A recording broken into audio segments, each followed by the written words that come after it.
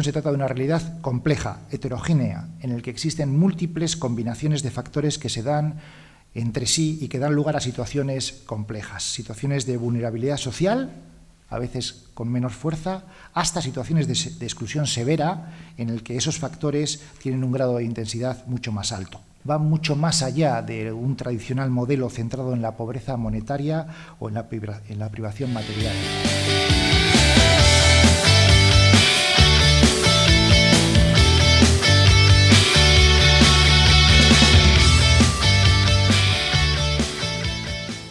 Queremos que sea un momento para reconocer la labor del voluntariado,